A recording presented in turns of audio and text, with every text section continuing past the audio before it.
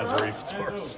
Yeah, it's cool. Um, you know, playing with guys like that, obviously you want to soak in everything you can. Uh, coming from Cleveland, I was with Bill Callahan, who coached Trent for a long time, so he talked about him all the time. We watched his tape even in Cleveland, so now playing with him and trying to uh, soak up all the knowledge he's got, you know, it's pretty cool. Did you ever talk to him before? Uh, no, no.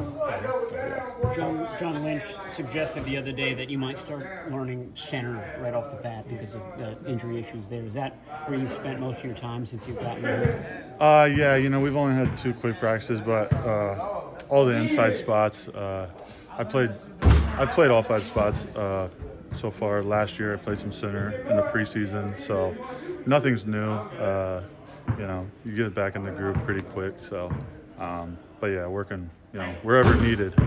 How would you rank them from one to five? Uh, I can't do that. And, and comfort. Well, experience. I mean, all through college, I played left tackle, uh, and then last year I played all tackle. But you know, primarily since I've been in the league, I most the most thing I played is guard.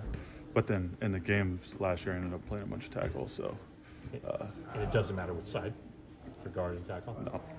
What, what was your reaction when you found out that the Niners were the team that came to what, out of all the teams, what were you expecting coming in here? Yeah, I was I was uh, really excited. Um, obviously, the team's had a lot of success and very high expectations again this year, so that's always a place you want to be.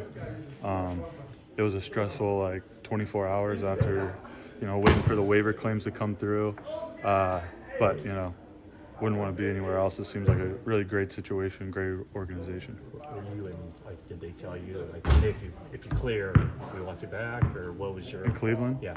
yeah, they had said that, but uh, you know, was hoping we didn't get there. How similar is the, the Cleveland system to what Kyle's doing here?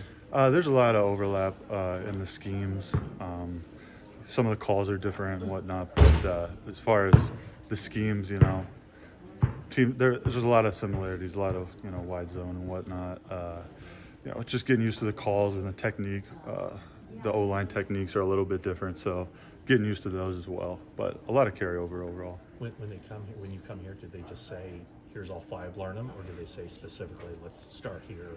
Yeah, I mean, you, like my first day here, we had practice, so it was kind of like, okay, you're going to play this position today, which you know I'm playing all over the place, but you know, focusing on the inside for now. But uh, um, you know, obviously, to be a good offensive lineman, it's best if you understand all five spots. So, uh, you know, gotta got to uh, gotta learn them all. Uh, Blake, can you just talk about John Lynch said you had a really late arrival and it all kind of just happened really quickly. You showed up here at 1.30 in the morning, he said. Yeah, the first day my flight didn't leave Cleveland until like 6 p.m. with a with a layover, so didn't get to the hotel till about 1 1:30. Got picked up for the physical at 5:45. So first day was a little a little tired, but not too bad. all right, Blake. Thank you. All right. Thanks, Thank you so much. appreciate it.